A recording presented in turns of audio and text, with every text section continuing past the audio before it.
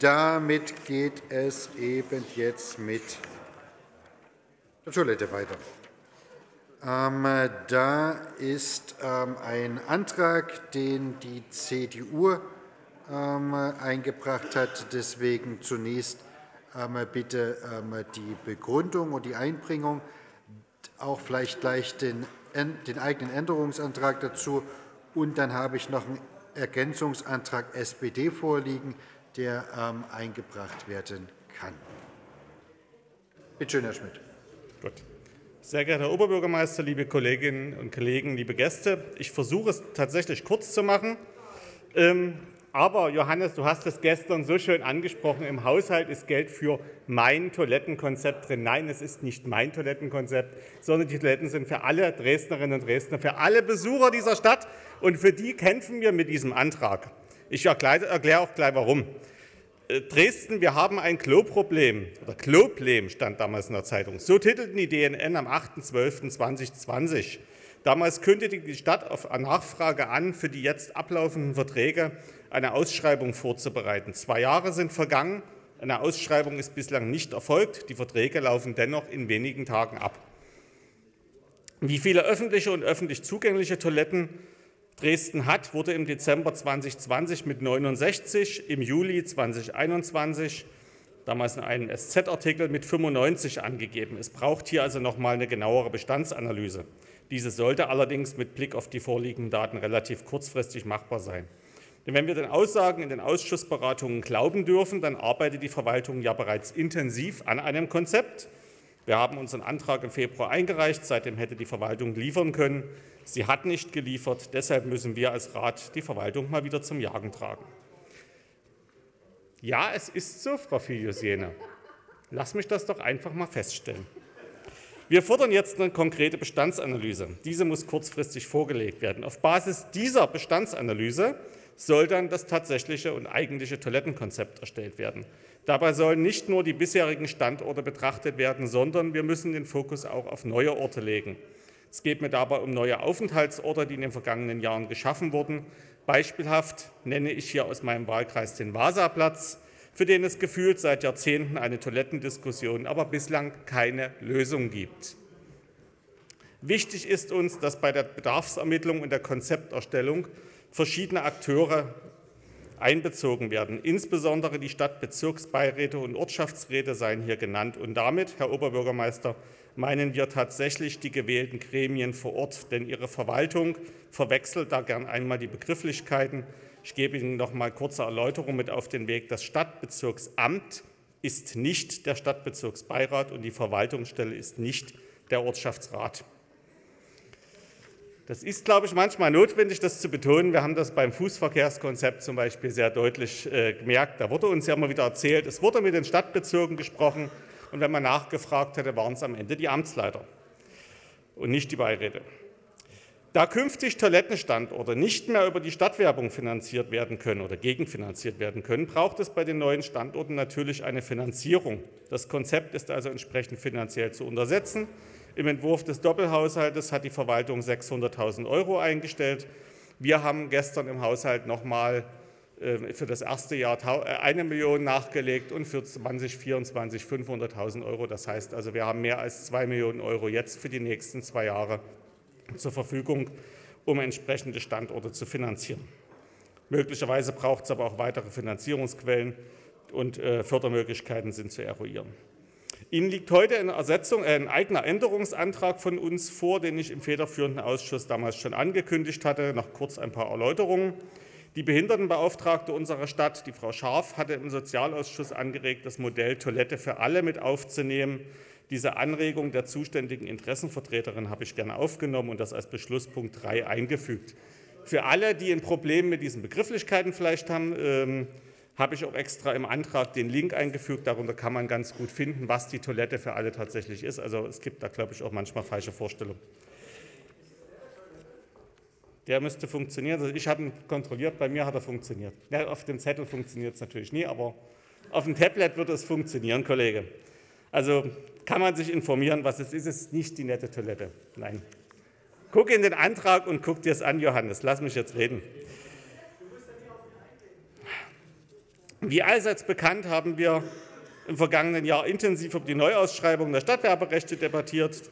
Die Verträge laufen zum 31.12. Ähm, aus, also in äh, wenigen Tagen. Das betrifft dann nicht nur die Standorte, die sich in den Litfaßsäulen der Firma Wall befinden, sondern auch die separaten Behindertentoiletten. Die bisher nicht erfolgte Neuausschreibung der Toilettenstandorte führt dazu, dass nach aktuellem Stand diese Toiletten ab dem 1. Januar 2023 nicht mehr betrieben werden dürfen, somit nicht mehr zugänglich sind. Die Verwaltung muss hier dringend eine Interimslösung finden. Also beauftragen wir im Beschlusspunkt 7, äh, dass äh, die Verwaltung noch eine Ersatzlösung oder bis dahin noch irgendwelche Verträge ändern muss. Wenn es keine Interimslösung gibt, dann sind Sie, Herr Oberbürgermeister, durch das Nichthandeln Ihrer Verwaltung schuld, wenn Menschen ihre dringenden Bedürfnisse nicht erledigen können. Insbesondere für Behinderte sind die Standorte in der Innenstadt extrem wichtig für die Teilhabe am öffentlichen Leben, weil beispielsweise die gastronomischen Einrichtungen der Weißen Gasse aufgrund der baulichen Gegebenheiten keine eigenen barrierefreien Toiletten besitzen. In den Ausschüssen fand unser Antrag breite Zustimmung. Ich hoffe und gehe davon aus, dass das heute auch so sein wird. Vielen Dank. So. Der OB ist immer schuld. Das ist, steht schon in der Satzung. So, ähm, Ergänzungsantrag ähm, von SPD. Herr Engel, bitte.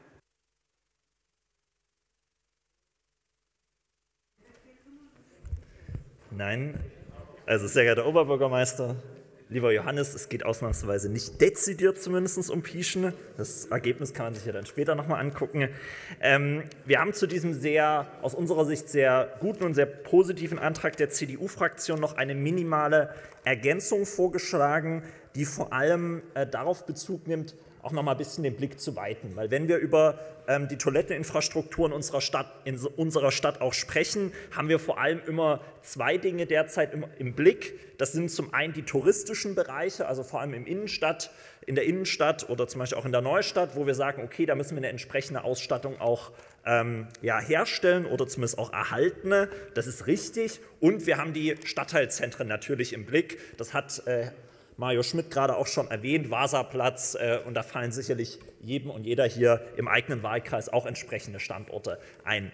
Was wir gerne hier noch ergänzen wollten, ist, dass wir auch die ähm, zumindest das Umfeld der Naherholungsgebiete in Dresden ein bisschen in den Blick bekommen. Weil wir wissen, ähm, zum Beispiel ähm, nicht direkt auf den Elbwiesen, aber im Umfeld der Elbwiesen wäre das stellenweise auch mal wünschenswert, solche Standorte auch zu realisieren. Und wir wollen zumindest die Verwaltung beauftragen, auch solche Standorte in den Blick zu nehmen, weil wir ähm, wissen, da gibt es auch im Umfeld der Elbwiesen oft, ich sage mal so unangenehme ähm, Hinterlassenschaften und das sollten wir aus unserer Sicht vermeiden. Natürlich unter Beachtung aller Aspekte wie Landschaftsschutz, deswegen wird es in, im Bereich zum Beispiel der Elbwiesen nicht unmittelbar gehen, aber zumindest das Umfeld sollte man da schon auch im Blick behalten. Und das würde einfach den Auftrag hier noch ein bisschen auch konkretisieren. Insgesamt muss ich sagen, ich glaube, wir haben da in Dresden einigen Nachholbedarf. Andere deutsche Großstädte sind da deutlich weiter. Wenn ich zum Beispiel Richtung München schaue, da ist die Ausstattung mit öffentlichen Toiletten schon nochmal eine andere. Und es würde mich freuen, wenn die Verwaltung auch mit den Ressourcen, die sie jetzt da auch zusätzlich hat, äh, da diesen CDU-Antrag auch entsprechend ähm, unterstützt und da wirklich auch zur Umsetzung schnellstmöglich kommt. Vielen Dank. So, wird das Wort aus dem Rat gewünscht? Dann fange ich mal an mit denen, die es angemeldet hatten. Herr Gilke ähm, und ähm, danach ähm, Herr Lippmann und Herr Lichti. Herr Oberbürgermeister, verehrte Stadträte, liebe Dresdner, wir werden diesen Antrag zustimmen, und das sage ich gleich mal voran, weil wir nicht ideologisch arbeiten, sondern wir arbeiten an der Sache. Zur Sache selber. Äh, es ist auf jeden Fall wichtig, dass bei den Überlegungen, bei diesen Konzepten darüber nachgedacht wird, diese Angebote kostenlos anzubieten, zumindest in den Stadtteilzentren. Das beste Beispiel dafür ist Dresden-Prohlis, der Jakob-Winter-Platz. ein Problemfall, dort wird fleißig gegen die Hecken uriniert. Die wurde, da wurde schon daran gearbeitet, die Hecken zu verkleinern. Aber es gibt einfach auch Menschen, denen ist nichts peinlich. Und dahin wird weiterhin gegen Hecken uriniert. Und dort ist dann so ein Standort, wo man hofft, dass es funktioniert. Das ist nicht lustig.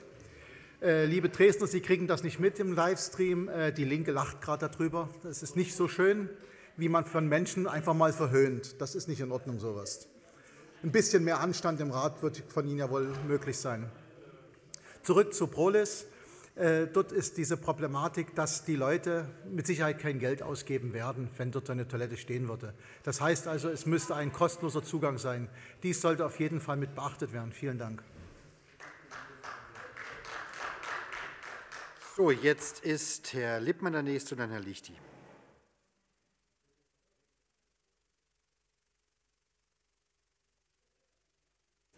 Sehr geehrter Herr Oberbürgermeister, liebe Kolleginnen und Kollegen, die Fraktion unterstützt diesen Antrag selbstverständlich, um das vorwegzunehmen. Wir hätten diesen Antrag auch mit dem vorgehenden Tagesordnungspunkt gemeinsam behandeln können. In der Tourismusstrategie wird der Notstand schon beklagt. Wer bis Seite 69 gelesen hat, höchster, höchster Handlungsbedarf beim Thema öffentliche Toiletten ist da zu lesen. Insofern ja, wir unterstützen das. Wir sind sogar der Meinung, Geld ist äh, vorhanden. Darauf hat Herr Schmidt jetzt eben noch mal hingewiesen. Wir haben es gestern beschlossen. Wenn hier die Verwaltung neben der Konzeptentwicklung, die sicherlich ganz wichtig ist, einfach anfängt zu bauen, dann wäre das sehr wünschenswert. Hier kann die Verwaltung mal in die Vorlage gehen und klammheimlich anfangen. Die ersten zehn Standorte von Toiletten ist völlig egal, wo die hingebaut werden. Sie sind auf jeden Fall richtig. So groß ist der Notstand in dieser Stadt und München wurde als Beispiel genannt. Und wenn ich die Sommerurlaube Revue passieren lasse, St. Gallen hat man hervorragende Toilettenlösungen gefunden, preiswert, einfach, Edelstahl, Unisex, kostenfrei, selbstreinigend.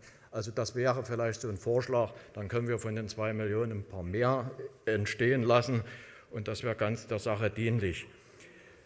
Kostenfrei ich, äh, möchte ich extra noch mal betonen. Wir haben jetzt im Moment keinen Zeitplan vorliegen, bis wann die konzeptionellen Arbeiten fertig sein sollen. Aber noch mal die dringende Bitte, einfach anfangen und das Konzept darüber legen und gucken, was dann noch fehlt für die Jahre 25, 26. Vielen Dank.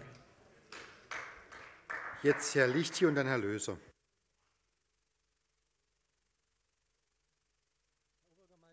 Lieber Mario Schmidt, ich habe mich natürlich lustig gemacht, aber ist natürlich ein wichtiges Thema und es ist auch ein wichtiges tourismuspolitisches Thema, ganz klar. Bitte? Ich sage dir nicht, an welche Hecke ich gehe. Okay. ähm. Christian, ich weiß, wo du wohnst. Nein, ist mir zu weit weg. Also, ich wollte eigentlich was anderes sagen. Ähm, es gibt ja, ähm, also wir in der Neustadt, ich habe es Mario schon mal mehrfach scherzhaft gesagt, haben ja das Thema schon länger irgendwie auf dem Tisch und ich finde, da hat auch der Herr Barth gute Lösungen gebracht. Deswegen habe ich gerade dazwischen gerufen, nette Toilette. Ich möchte jetzt auch auf einen Punkt jetzt mal hier im gesamten Rat nochmal die Aufmerksamkeit wenden, nämlich diese, ähm, wie nenne ich das jetzt korrekt, also diese, also eine Pissrinne ist es im Grunde nur, äh, auf dem Sternburger Platz, also bunte Ecke offiziell. Äh, und äh, das ist sehr interessant, weil das aus meiner Sicht eine höchst wirksame, effektive Anlage ist, weil daneben ist auch das entsprechende Klientel, was dort sitzt und sich äh, dann öfters auch mit Sternburg versorgt. Und dann ist es, sage ich mal, relativ nahe. Ähm, ich finde, das ist äh, ein wichtiges Thema deshalb, weil der Herr Barth nämlich vor Jahren berichtet hat, wie schwierig das war, überhaupt so eine relativ einfache, kostengünstige, stabile, bis heute nicht zerstörte, immer noch stehende Lösung hinzubekommen. Ja? Ähm, weil das offiziell irgendwie in kein Konzept reinpasst, in keine Zulässigkeit reinpasst, in keine DIN-Norm reinpasst, weil es auch nicht gendergerecht ist, äh, ja, weil nur Männer äh, irgendwie dorthin gehen dürfen und so weiter und so weiter. Ich wollte einfach jetzt nur noch mal eine Lanze brechen und dafür werben, dass wir in diesem Toilettenkonzept auch solche einfachen Lösungen, die stabil sind, auch nicht vergessen, Herr Kühn. Vielleicht können Sie das einfach in Ihrem Hinterkopf behalten. Ich glaube, Sie kennen die Anlage auch. Okay, vielen Dank. Als nächster Redner Herr Löser. Ja, vielen Dank. War das jetzt ein Antrag, Johannes? Weil wenn er das nur in seinem Hinterkopf behält, ich weiß nicht. Also es war ein Appell und es ist vielleicht eine Festlegung, wie wir sagen würden im Bauausschuss. Ne? Ähm, ich wollte mich bei der CDU nochmal bedanken für den Antrag. Das ist äh, gut. Ich habe nochmal die Frage in Punkt 7 schreiben Sie, dass bei den, also im Ergänzungsantrag Punkt 7 schreiben Sie, dass für alle wegfallenden Standorte unverzüglich Interims- und Ersatzlösungen zu schaffen sind. Ähm, weiß denn die Verwaltung, wie viele da wegfallen und ist das realistisch? Das wäre die erste Frage. Und an die Einreicher zweite Frage bei Punkt 1 schreiben Sie, dass ähm, diese Bestands- und Bedarfsanalyse bis zum 31.12.22 vorzuliegen hat. Da frage ich mich, wer sich jetzt von Ihnen in die Spur macht, wenn wir das beschließen. Ähm, vielleicht ändert die CDU das nochmal, ist nur formal. Ansonsten stimmen wir dem äh, CDU-Ergänzungsantrag und auch dem SPD-Ergänzungsantrag natürlich zu. Dann der Toilettenbürgermeister. Ja, ich freue mich, dass ich äh, auch zu diesem Thema noch vortragen kann. Ähm, ich will zunächst mal darauf hinweisen, dass ähm, es ein, eine Umfrage gab, ein sogenanntes WC-Ranking der pipi-freundlichsten Touristenstelle 2022 vom Reiseportal Kurz mal weg. Dort teilen wir uns mit München den ersten Platz. Diesen Platz wollen wir natürlich verteidigen. Ähm, es ist so, das haben Sie auch mit beschlossen, dass wir mit den ähm, neuen Stadtwerbeverträgen ja nicht mehr die ähm, äh, Toilettenanlagen äh, integriert haben, sondern die werden jetzt zurückgebaut und es werden neue Anlagen errichtet, die wir nicht äh, selber bauen wollen, wo wir, sondern wo wir über eine öffentliche Ausschreibung eine, äh, eine Vergabe erzeugen wollen und dann entsprechend auch nicht nur Bau, sondern auch Betreibung. Wir sind aber mit dem bisherigen äh, Möbeljahr und dem Eigentümer, das ist ja die Firma Wall im Gespräch, ähm, dass diese äh, Anlagen dann eventuell auch äh, weiter nutzbar sind. Wir hatten im Bauausschuss schon deutlich gemacht, dass wir an einem gesamtstädtischen äh, Toilettenkonzept arbeiten. Das ist auch in der Endredaktion und soll auch im ersten Quartal 2023 äh, fertig werden. Sie haben auch aus der Vorlage, die noch im Bauausschuss behandelt wurde, wo wir beim Bahnhof Mitte uns an der Finanzierung des Vorhabens der Deutschen Bahn beteiligen, um dort eine Toilettenanlage noch zu realisieren, die es doch heute nicht gibt. Wissen Sie, dass das Thema uns ähm, wichtig ist und ich kann bestätigen, dass mir die Anlage, Herr Lichti, an der bunten Ecke äh, bekannt ist und auch äh, ich denke, dass das äh, eine pragmatische Lösung an bestimmten Orten sein kann. So, damit sind zunächst alle Wortmeldungen abgearbeitet und wir können einsteigen in die Beschlussfassung. Ich darf zunächst ähm, den Änderungsantrag ähm, der CDU abstimmen.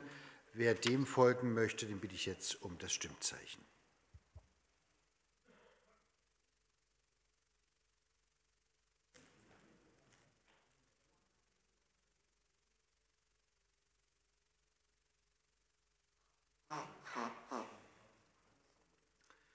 59 Ja, keine Nein, keine Enthaltung. Wäre damit so erstmal angenommen. Jetzt kommen wir noch zu dem Ergänzungsantrag der SPD. Wer dem folgen möchte, bitte ich jetzt um das Stimmzeichen.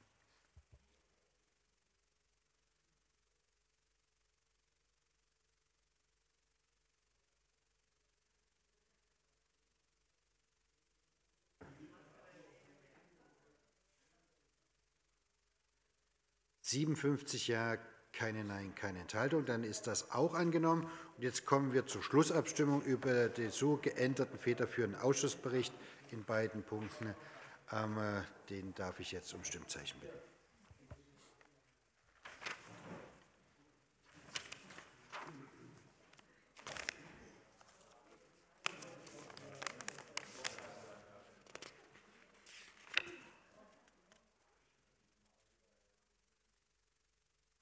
58 Ja, keine Nein, keine Enthaltung, dann so beschlossen.